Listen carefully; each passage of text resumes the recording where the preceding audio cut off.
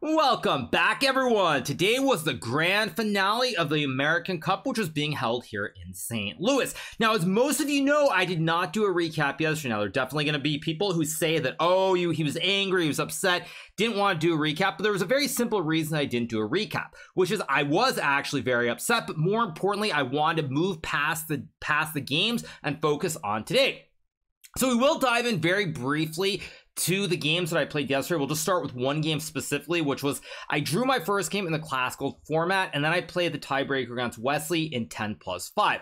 Now, we're not going to go through much of this game, but I will point out a couple of critical things. So, this game was played, and we had the Berlin opening, Berlin defense, I should say. Wesley played this line with castles knight d4 and c3.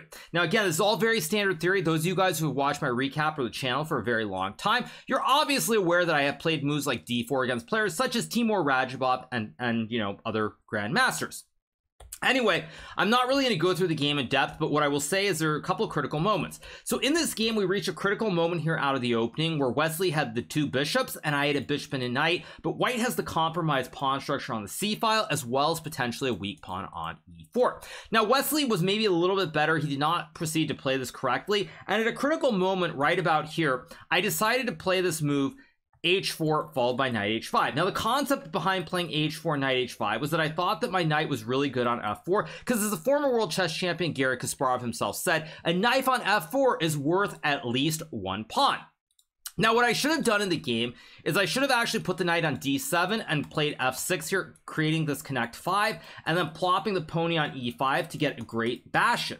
Now, if I had done this, I don't know if I would have won this first tiebreaker yesterday, tiebreak game yesterday, but I definitely would not have lost. And so when I put this knight on f4, it was okay, and probably there's a critical moment later where I could have made a repetition.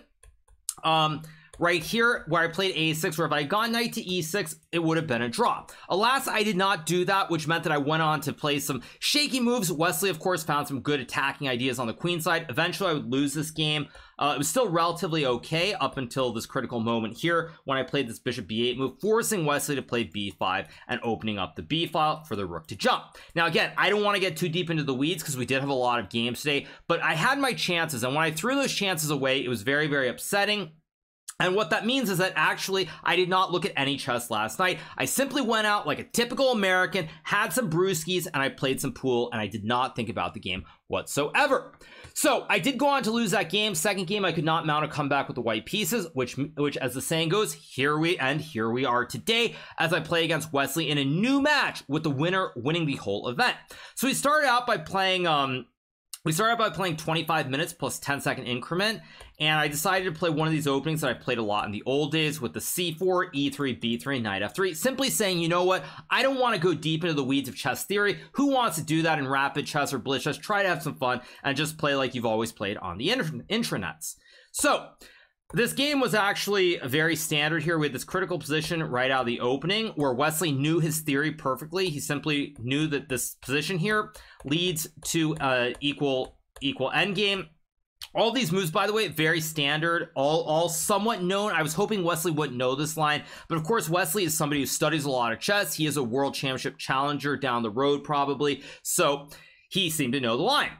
So what happens is, is we end up in this end game where white is maybe a little bit better because black has this weak isolated pawn, or as they say in Italiano, this isolani on d5, which is just permanently a weakness. Unfortunately, against a player of Wesley's caliber, even though I was able to achieve the maximum here, where I eventually am able to win this pawn on d5, this is still a theoretical draw with a rook and four pawns versus a rook and three, as was illustrated in a famous game that was played in Norway chess some years ago between Magnus Carlsen with the white pieces and the extra pawn on the king side versus some streamer by the name of Hikaru Nakamura. Now, Hikaru was able to draw that game, and so that is one illustrative example if you're looking for possibilities. However, having said that, there's also a very famous game with the four versus three where another former world chess champion, Gary Chess, also known as Garry Kasparov, actually lost to Jeroen Piket um, in one of the online events that was held on KasparovChess.com at the end of the 90s or into the early 2000s. At any rate, I, I, try to win here with this extra pawn, but as we know in chess, one extra pawn and a rook and pawn endgame is nothing, and this game ends up petering out to a draw very, very quickly, and alas, it is what it is. I try, I try to do something, I shuffle all over the board, but eventually I can't do anything. If I try to move my king up at some point, black will just check from the side. When I go king, king g2, He'll check the king. When I go to h3, now my king is simply locked away in jail. It can't come back to the center of the board. And black just starts shuffling with the rook on the second rank. And it's a very easy draw. So I try to play f5, but Wesley correctly keeps checking me from the side. If I try to go back to g2, check and hide on h3 after takes and rook f6, trying to win the two pawns, black simply is rook f2 here, guarding the pawn, and there's nothing I can do. So I go king f4, he checks, I go king g5, checking king h6, trying to hide the king on the h file here, but it, to no avail. I end up here theoretically up one pawn, but as we know with this lone rook pawn on the board and against a player of Wesley's caliber, zero chances that I can win. So the game goes on for a few moves, and then for the classic memes here, I sack the rook with rook to g6, because of course, why not? Of course, after rook takes g6, I hung my rook. I should lose the game, but alas, I simply have no moves on the board because my king and my pawn are simply stuck on the rim. So this is what we call stalemate. So second stalemate in our match, which means the first tiebreak game is drawn. So let's move on to the second game. Now the second game, I'm playing with the black pieces here. If I lose, I go home. If I win, I win the whole event. And if it's a draw, we move on to another set of tie breaks. So Wesley starts with e4. We get our classic Berlin defense once again. Wesley plays this very safe line with rook e1. Now I was somewhat aware of this line. I thought Wesley might actually play this because he did beat me in the Berlin FIDE Grand Prix tiebreakers with this variation before. So this is all standard theory once again. I castle and Wesley plays knight c3. Now this is one of the old lines. I also used to play this a lot with the white pieces. It's a very safe line. What white is really hoping for is after knight e8, knight d5, and bishop d6. Let's just say white plays rook e1. There's this very long theoretical line with c6, knight to e3, bishop c7, knight to f5, d5, eyeing the knight, check, king h8, takes, and d3, or g3 here. I, of course, played this with the white piece against Magnus Carlsen all the way back, and I want to say 2014. I played it against Levon Aronian, probably played against Wesley and many others. At any rate, white has the two bishops here, so white is maybe a little bit better, but black should be able to hold with correct play. So, this is all pretty standard, but instead Wesley plays rook e2. Now, there was a game that was played, I want to say, between Maxime Vachier-Lagrave and Anish Giri in uh, maybe 2015 with this move. And the reason that I remember this is because then I myself played rook e2, I believe against Anish Giri in the London Chess Classic, and I don't know the year. You guys out there can look it up. I want to say it was 2016 or 2017, but I also played rook e2 rather than rook e1. Now, on first glance, it doesn't look like it makes a difference, but there is one important point here. If black plays c6 and knight e3 and bishop to c7, the standard approach, after knight f5, d5 check, king h8 takes, takes, and g3 here. With the rook on e2, white will be able to create a double stack in one go by moving the rook to e1, whereas in the traditional lines, with the rook on e1, it takes you one extra move here to get to get the double stack with a rook in front of the queen. You have to move the rook, then move the queen. So white is hoping for a very slightly improved version by putting the rook on e2 right away. Now, of course, I haven't looked this line in a long time. I'm obviously a streamer first, but I vaguely recall that in my game against Anish, he started to play normally with knight f6, and I didn't get anything whatsoever. So I thought if Anish played it, I gotta play it too. So we get knight takes f6, takes d4, and now I go b6 because while I would love to have a setup like this, for example, with the open diagonals, the two bishops targeting the king side, I can't really achieve that here because in this position, the bishop is in the way of the pawn. Now, I could try to move the bishop to f4, but this is actually a very bad move because after white trades and goes queen d3, white is getting the double stack instantly with the two towers, maybe a kebab on the seventh rank, maybe g3 as well, and then potentially bishop to h3. So this position is very, very scary for me to play, and I think I'm in a lot of trouble.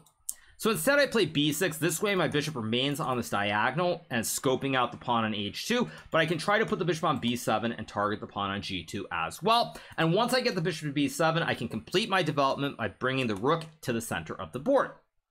So Wesley plays queen to d3. I go bishop to b7. Now I've got the great double op combo, and I'm going to bring the last piece into the game.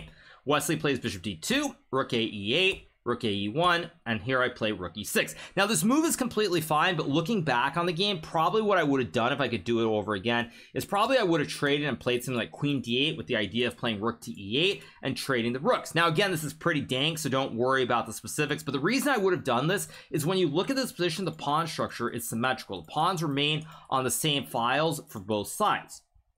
Whereas in the game, when I go rook e6, Wesley plays c4, very explosive move. I play rook e8, and now he goes bishop c3 with the idea of potentially opening up this diagonal towards my queen and my pawn.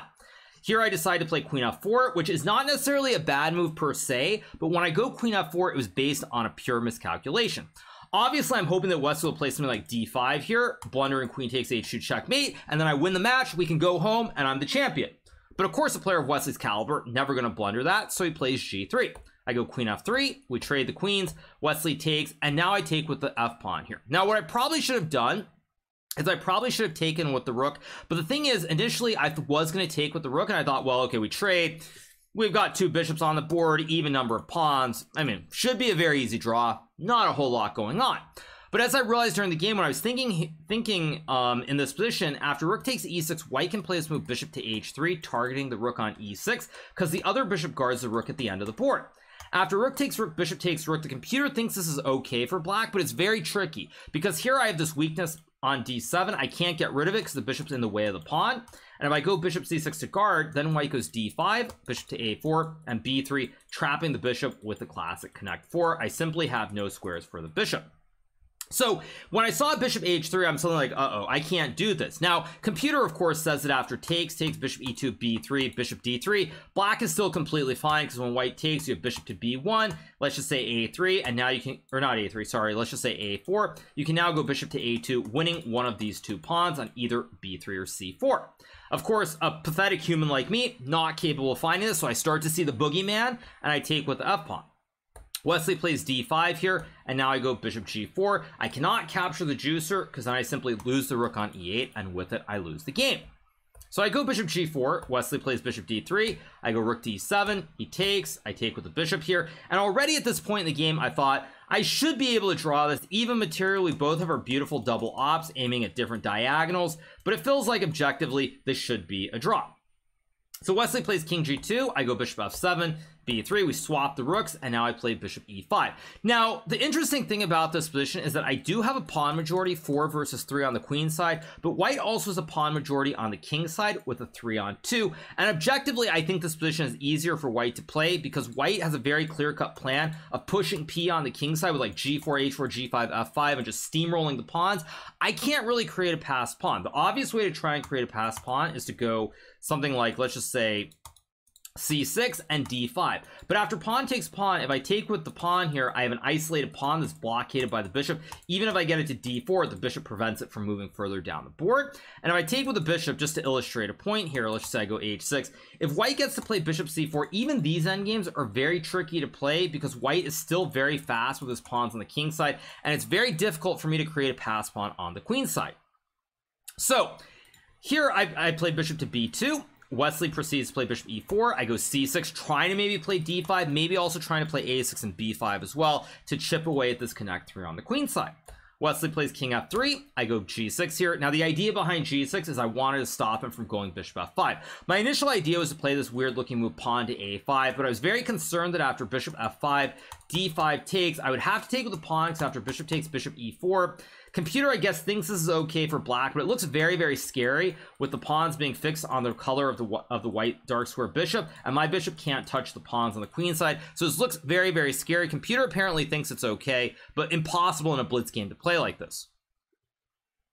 So after king to f3, I play g6 to stop bishop f5. Wesley plays g4, and now I go a5, and here he plays a4. What I'm hoping to do here is to trade off the pawns, because if we could magically trade off all these queenside pawns, even for example, let's just say white somehow, uh, white somehow ends up winning a pawn, just to illustrate it, let's just say d5, just to set it up. Even if we get to this endgame where white has three pawns versus two on the king side, this should be a very easy draw. So what I need to do here is I'm trying to get rid of some pawns on the queen side, trade them down so that this majority on the king side doesn't matter as much. So here Wesley plays a4, trying to fix the pawns on the king side, or the queen side rather, and now I play this move d5, because now I have big problems here. I can't really play on the queen side easily. Um, it's, it's very, very difficult to play on the queen side at this position, so I can't really play on the queen side. So if I can't play on the queen side, then I'm in big trouble. So here I play d5, he takes and I take back, and the goal that I had in mind after bishop c2 is I thought that now I could plop the bishop on c5, guarding the two pawns, and now at least I can play d4 and go after the pawns that are on the light squares for Wesley. So we get bishop c3, I play bishop to c5. He plays bishop e5. It's worth noting if white plays bishop f2 in trades here, white might even be a little bit worse here because these pawns are fixed on the same color as my light square bishop, and this bishop can't touch any of the pawns. Just to illustrate it, these pawns are on dark squares, these pawns are on light squares. My bishop sees his pawns, his bishop doesn't see mine. So Wesley plays bishop c3. I go bishop c5, anchoring the bishop and the pawns here on the queen side. And now he plays bishop e5. And here I go king f8. He plays f5. I take, he takes. And now I play this move h6. Now, what I initially thought I would do was play was play this move d4. But after bishop takes h7, bishop takes b3 and h4, I was very unsure of what was going on here because white has two pawns on the queen side that are going down the board very fast. And my pawns on the queen side are extremely slow. And even this pawn in the center can be stopped by this bishop from h7. So when I saw this idea, at first glance, I thought I would play it, but then I realized if I do this, if, if I'm wrong and Wesley goes into this and I'm wrong, I'm just going to lose the game without a doubt. So I thought, you know, what, there's no in between here since white has the two connected pawns, and I thought it's better to be safe than sorry. Because I assumed here after h6, as long as I don't allow a major imbalance with two pawns on the queen side or two pawns on the king side, that I will be able to draw the game with perfect play. So Wesley goes bishop f4, I play king g7, we repeat, and now he plays h4, I play d4 here. Now I'm targeting the pawn on b3 with my bishop, and meanwhile my bishop and my pawns are all very well placed in the center. So Wesley plays h5 here, which is a great move and a move that I completely overlooked. Already here, I thought after bishop c2, d3, I was close to equalizing because white probably should take and go bishop b5, and after king f7, now we have a two on one where my bishop is guarding all the pawns. White can't really create passers on the king side easily. And even if he does, my king will blockade, say g5 takes 6, king g6. Very easy draw. So already here, I'm like, okay, it's going to be a draw. It's all good. We'll move on to the next set of tiebreaks. And then Wesley plays h5, and I'm like, oh, something in my mind. Because as I realize, if I eat the pawn on b3, white can now go g5, and white is actually winning here. Because if I take the pawn and white goes h6 with these bishops on e5 and f5, I simply can't stop the pawn. I just can't stop it.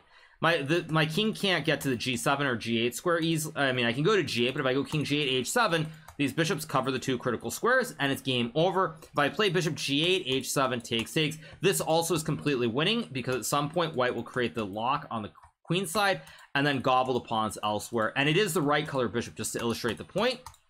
This endgame is winning for white simply because when I put the king in the corner, this bishop covers the critical queening square, so this would be winning. So already here when Wesley plays h5, I'm like, uh-oh, what's going on? Have I thrown the game away? Luckily, I keep my wits about me and I play this move king g8. Now, this move is very important because now on first glance, you think, well, white just goes g5, takes h6. Again, the, the pawn is just pushing towards the end of the board, game over. But if white pushes g5 here, I can just take the pawn on h5 first with check, and then I should win the game. So Wesley goes bishop c2. I play d3, of course, bishop d1. I check, and now he goes king f4, and I play king h7. Now, it's a very tricky position here because if white can exchange either set of bishops, white wins the game. So to illustrate the point, if I can magically trade trade the, the dark square bishops, white will end up winning this pawn on d3. And with that, white will win the game because he has a two on one on the king side. So if white can trade the dark square bishops, white wins the game. Conversely, if white can trade the light square bishops, white also wins the game because now it's even worse since all my pawns here are on the same color as the as white's dark squared bishop. So here, this is also just losing because white will go bishop f4, king g7 to guard the pawn, king e4, uh-oh, spaghettio, I lose this pawn, and with it, I lose the game. To illustrate the reason why, I'll just set it up. At the right moment, white goes king b5, bishop c7, gobbles everything on the queen side. GG, finito, adios. So, I have to be very careful here. So Wesley plays bishop c3. No, white can't play bishop f3 because I take the pawn on b3. So he goes bishop c3, and here I play this move bishop g2. Now, the reason I played bishop g2 is already here I was getting scared of white's next move. I saw king g8, king e5, and I started to get concerned here that say I play like bishop b7, for example, white can somehow play a move like bishop d4 and potentially win the game. Now, the computer says after king g7, it's a draw, but I think king g7 might be the only move that saves the game here. If I trade, I lose the pawn. If I go bishop b4, I lose this pawn, and so it's complete catastrophe. So I play bishop g2. Wesley goes bishop f3, and here I go bishop f1, guarding this pawn from behind. And now my idea is that if white ever gets too wayward with his king, I can always play bishop b4, and after takes, takes, let's just say white goes king d6. Now I can play bishop e2, offering the trade of the bishops. White, if white trades, I get a queen. And if white goes bishop e4 check, I go king g7, followed by d2 and d1, because my bishop covers the critical squares. So I played this bishop g2 idea with this concept in mind of putting the bishop on f1 and e2 if the king gets too wayward, and if white can't bring the king close, then it should be a draw. So here Wesley plays king e4, which apparently is a blunder. I can't fault Wesley for playing this move, because at this point, it's, it's just very, very difficult. We don't have a lot of time, and there is certainly some pressure too. If Wesley slips here uh, and his pawn gets through, he will lose the game and lose the match. So he goes king e4, I go king g8, bishop d2, king g7, simply guarding the pawn on h6, bishop c3, and now we do, do a twofold repetition before Wesley decides to play on for more. So he goes bishop f4, and now I play bishop f2, and we of course have a typical bishop's party on the f file. All the bishops are on the f file here. Uh, it's not really clear whose bishops are better, but the reason I went bishop f2 is that now if white tries, tries to get wayward with the king again, I can go bishop e1 and then bishop e2 like this, and now these two bishops cover the critical squares once again. This bishop on e2 holds the pawn, covers the d1 square. The other bishop holds the d2 square, and now I'm going to win because of these bishops. So I go bishop f2, Wesley checks. I go king f7, he goes back c3, and now I retreat with bishop c5 here. Wesley plays bishop e1, king g8, and now he makes a mistake by playing bishop to d2, which allows me to play king g7 and claim a threefold repetition because this is the third time the position has occurred. Now, those of you guys who are watching are probably unfamiliar with this rule because normally the way repetition works is three consecutive times of the position repeating, but there is a threefold where if you reach the same position three times, even if it's not in the same same order of the sequence, it is still a draw. Now, now just to show you where the repetitions occur, first time we have this position is right here with king g7 guarding the pawn. Second time we have the position is here. Again, king on g7. And of course, the third and final time is right here. And as you can see from the arrows, it's a different position. So I'm able to get the threefold repetition, make the draw, and I breathe a big sigh of relief. So I draw this game. So what does this mean? We now move on to the 10 minute games. We have 10 minutes plus five second increment for move number one. And it's same thing. Two games, if they're drawn, two games of blitz, and then Armageddon. So Wesley decides to play e4, e5, knight f3, knight c6, and here he trots out the classic Gucci piano. Now, after bishop c4, I play knight to f6, d3. Wesley, of course, chooses not to go into the classic fried liver attack with knight g5. And after d5 takes, there are many ways black can play, but as everyone knows, il figatello in Italian, or the fried liver, is what takes, takes, check, king e6, and knight to c3. It's an opening that's been played many, many times. Very, very popular and very famous. So Wesley decides he'd rather play the very quiet Gucci piano instead of going to the fried liver, so he plays d3. I play bishop c5. All very standard moves, by the way, here. Wesley and I have literally played this position more times than I can recall. And we get this standard position, which is pretty much known theory up to this point. Now, after rook takes e6, white has a plethora of moves. In the Chess Global Championship in Toronto back at the end of 2022. I believe Wesley played Rook B1 here. Queen C2 is a move, Rook B1's a move, Knight F1 is a move. I think Bishop B2 is, is also one of the moves. And for anybody who's wondering and has an interest in buying a course on this, there is a course that's done by Jan Gustafsson from Germany. Sorry, I butchered the name. It's Jan Gustafsson, of course, um, who has a classic course on the Italian where he talks about a lot of these variations. So Wesley decides to play bishop b2. Now, those of you guys who've been watching my channel and my streams and my YouTube videos for more than a year now will know that there's a famous grandmaster by the name of Leinier Dominguez from Cuba, now representing the United States of America, who has played this against me many times. In fact, in the St. Louis Rapid and Blitz, I think in September of 22, uh, bishop b2 was played by Dominguez, and I got a bad position. However, even though I'm a streamer first and not a professional chess player anymore, I still have time to look at some of these intricate lines before the games or even before the tournament begins. So I play knight e7, knight f1, knight g6, knight g3, and here I play this unusual move, knight to h7. Now, the reason that I play knight h7 is when you look at this position, you'll notice that we have these knights on the king side, which are mirroring, but it's basically a situation, if I could trade these knights off the board, I assume my bishop on a7, targeting this long diagonal, is better than his bishop on b2 because it's blocked in by a pawn. So when I go knight h7, d4, and knight g5, what I'm angling for here is to simply trade off these knights, because if these knights are not on the board, then my bishop should be better than his bishop. So Wesley trades, he plays this move queen g4, and now I go rook a e8, trying to stack the towers here, putting a lot of pressure on Wesley's center. If Wesley plays d5 here, I'm very happy, because after rook f6, I have this gigantic file and this great diagonal for both my rook and my bishop, which are spying the pawn on f2. So Wesley doesn't want to open the center. Conversely, since I now have the double stack, if white just say trades and goes like knight f1, I can take on d4 and win the juicer on e4. So it's a very prophylactic move here by playing rook a e8, where I want to say, okay, I'm going to open the center and win the pawn, or if you keep the center closed, you open up the diagonal for my bishop. Wesley decides to play rook a d1.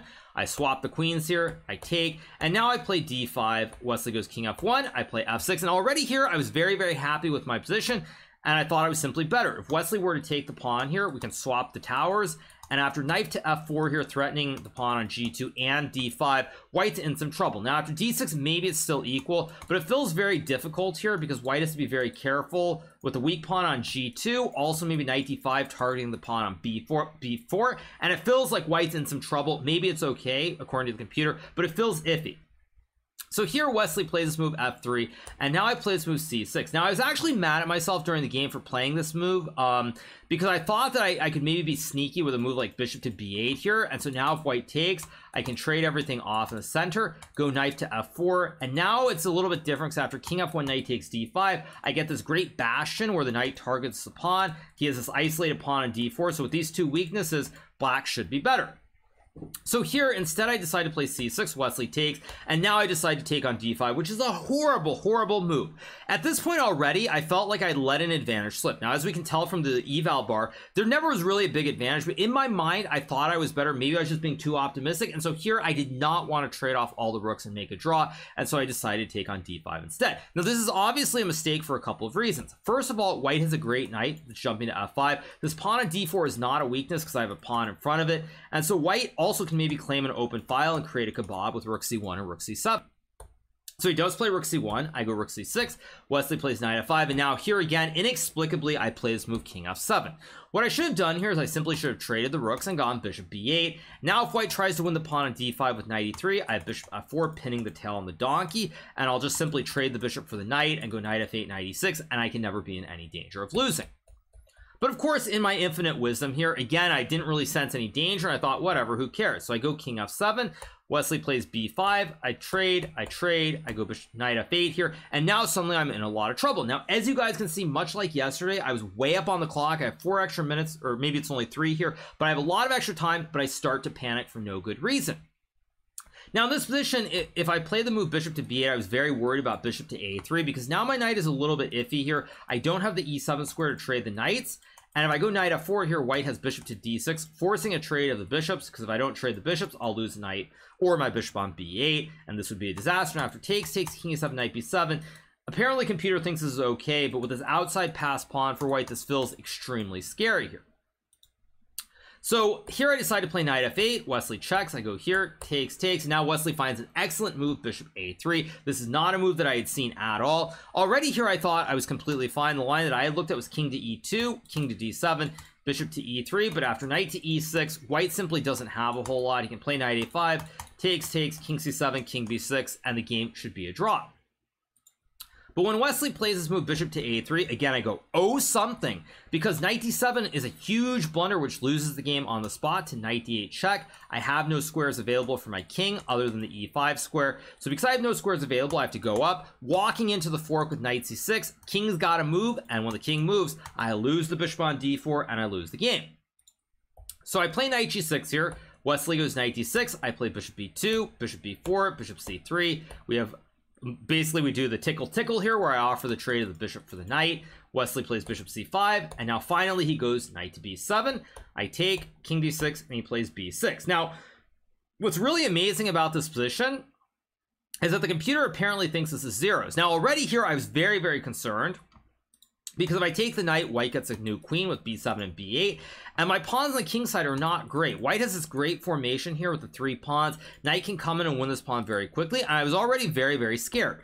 So I play knight to e5, Wesley goes b7, king c7, and now he plays king f2. What I felt in this position was that Wesley should have made the check, forking the king and the pawn, and after takes, takes, king c6, knight f5. I don't know if this is a draw or not. I was going to do this with knight takes h6 and d4 and start pushing p down the board as fast as I can. Computer thinks it's zeros, but I was really unsure during the game whether it was enough to save the game. As we can see, the computer thinks it is, but I wasn't I wasn't sure at all.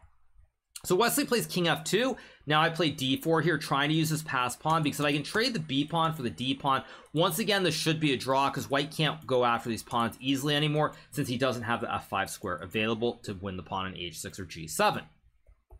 So Wesley plays king e2, I go g6, king d2, and now I play h5, we swap, plays king e2, and now I find one last important move, which is knight g6. Now, this move is very, very important for a couple of reasons. If I play h4 here, white can actually go f4, and suddenly knight g6, king f3 starts to feel iffy. Now, apparently f5 takes, takes, 97 is still a draw, but if I'm wrong on even one move and I lose one or both of these pawns, I lose the game, and I more or less will lose the match. So I, I, have to be very, very careful here how I do this. So when I play knight g6, what I do is I stop white from pushing the pawn. And now if white ever goes g3, I will just play h4 to trade off more pawns. And even, even here, this is going to be a very easy draw because white only has this lone pawn on b7 on the board. So very similar to the other game where I was black, I'm trying to trade off the pawns as much as I can to give myself the best drawing chances.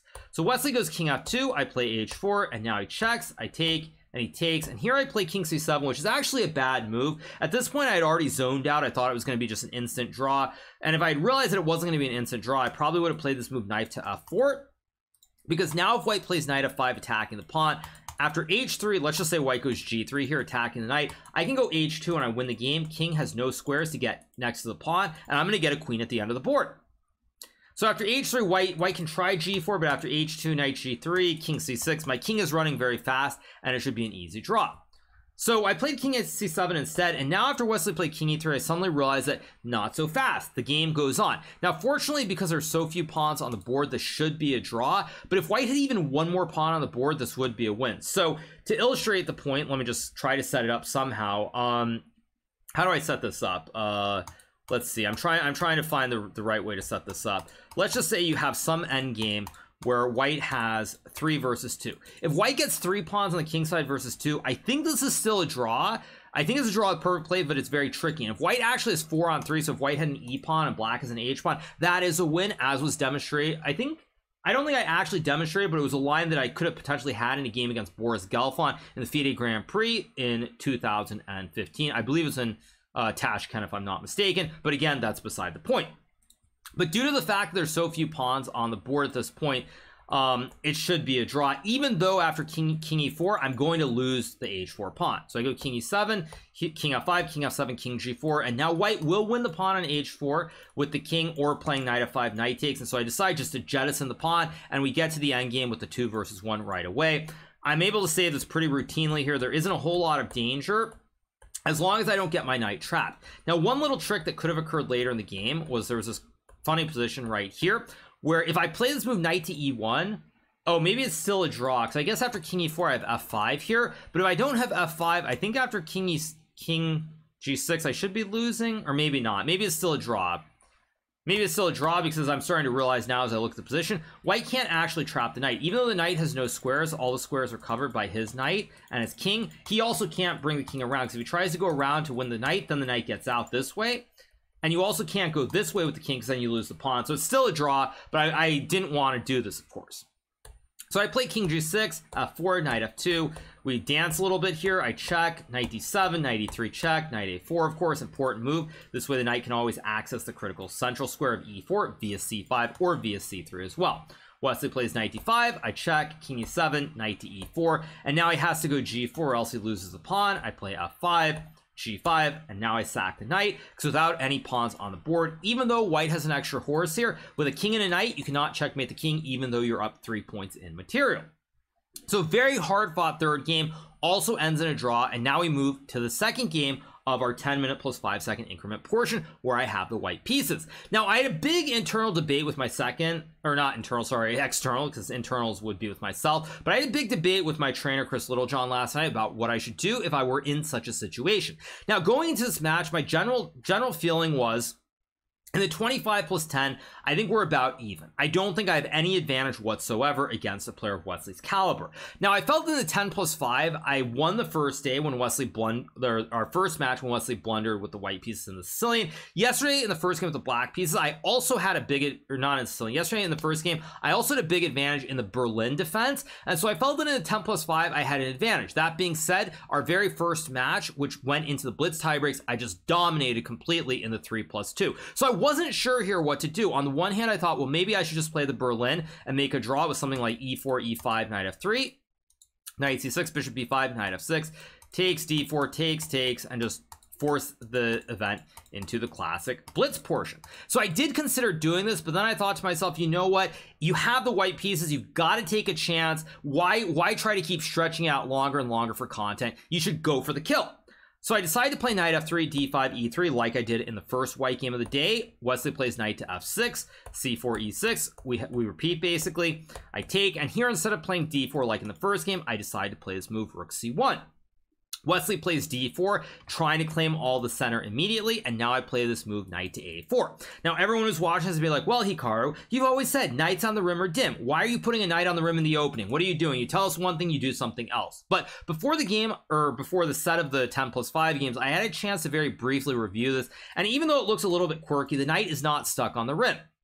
If black trades the pawns, knight can always jump back to c3 or capture the pawn on c5. So the knight is just temporarily there to try, and try and create some pressure.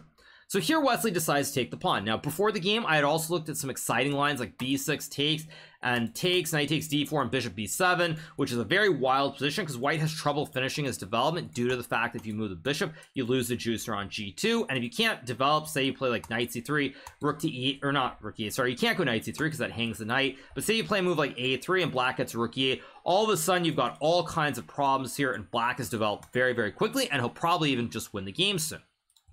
So I spent all my time on this, but the danger of a danger of looking at openings with computers, especially when you don't have a lot of time to review, is that the moves that the computer suggests are not the moves that we as humans would consider if we haven't done a lot of deep review. So as soon as Wesley started thinking here, I was like, hmm, why can't Wesley just take the pawn on e3 and then play b6?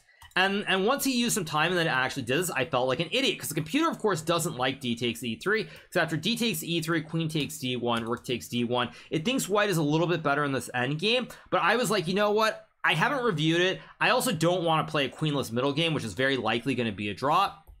So I decided to take with the f pawn and create some imbalance. Wesley decides to play this move b6 here. And now I go bishop to e2, knight d5, castles, knight to c6, and I play queen e1. Now there's a little bit a little bit silly. It's very rudimentary, but what I'm aiming for is I want to use a scoped bishop and play queen g3 and go for checkmate. It's also important to note that I don't have a lot of plans here, so it's very easy to play. I can't really push in the center because then I lose the pawn and I get forked. If I push the other pawn, black gets a nice little knife here on, on f4 and potentially a bastion on d4 later on. So it's not really all that great. So I can't push in the center. I can maybe play a3, but b4 never is really a move either. So I can't really push pawns in the center. I can't push p on the wing either. So queen to e1 and queen g3 is a very logical move. And in, in rapid and blitz specifically, it's better not to have a lot of options because then you don't have to spend as much time trying to decide. And that, that means that you'll be able to move quickly and you have very simple logical plans. So Wesley goes bishop b7. I go queen g3, trying to checkmate him in one and create the classic battery. He plays bishop f6. We trade, and now I go knight to c3, bringing the knight back from the rim. Now, the reason I played knight c3 here is I want to stop black from being able to jump in the center with his knight on f6. So Wesley plays this move knight to b4 after a bit of a think, using a little more than 30 seconds. Now, I was actually feeling very good about myself initially when I played knight to c3 here, but when Wesley was thinking, I actually became concerned about this move knight to e7. The reason I became was from a pure conceptual standpoint. When I look at this position with the knight on c6, let's just say black plays knight a5 and I get knight h4, I have a clear-cut idea of going knight to f5. I've got a great open f file. I get that knife there. I go for mate on g7. Very, very logical, very free-flowing play. On the other hand, if I don't have knight to h4, as, as an idea, what is my plan really? If I'm not attacking with knight h4, knight f5, what is the plan? Again, I can't push p in the center with e4 because I just lose a pawn. If I play d4 here, which is a move, black can play maybe rook e8 with ideas like knife to f5, forking the queen and the pawn here, and it just feels very iffy. So I don't really want to push p in the center, but it's also very hard to do anything on the king side, because after knight to h4 here, black can actually just gobble the pawn and win the game, but excluding that point right off, black can also just play knight e4 here, trade, and I have these pawns that are not really all that great in the center, and I have literally, well, not literally, I have less than any kind of attack on the king side. So if Wesley had played knight to e7, I'll, I'll give you guys a hot take. I think if Wesley had played knight e7, there's a very good chance that Wesley would have won this match. I, I will say that.